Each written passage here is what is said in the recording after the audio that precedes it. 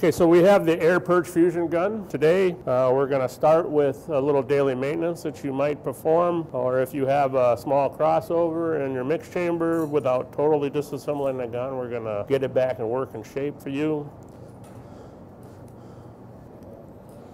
So what I want to be able to do is clean the mix chamber without exposing the internals.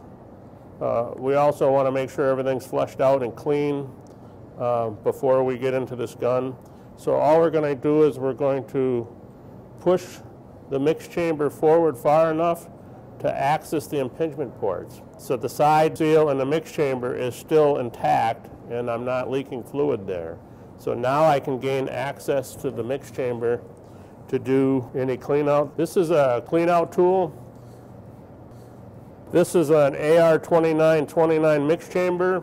The difference between the two smaller mix chambers and the bigger mix chamber, it has a counter bore and a final port. Some of the bigger mix chambers have only a single port going through. So what we can do is then we can drill out that mix chamber. We didn't expose anything to air. Notice that the mix chamber is keyed with a machine half moon. That's to designate the A side of the mix chamber. We don't want to be mixing the A and the B. You can see that the head is clearly labeled A or in this case A naught or what I call B. So we want to mix, not mix the A and B materials.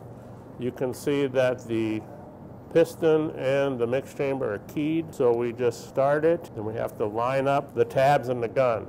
So from here, we can make sure that our safety is on, attach our air, turn on air, you can start to purge air and what we want to do is just open the grease zerk cap and we're going to give it one or two squirts of the iso grease and we just want it to mist out of there. We don't want to pack that mix chamber with grease. Two shots. Turn off air. Return the cap. Safety's on. That's a quick clean your mix chamber out whether you're in your trailer or you're still anticipating spraying. Now, if I have more of a major crossover because I've had concerns or issues with my proportioner, then we can do a full tear down of this gun.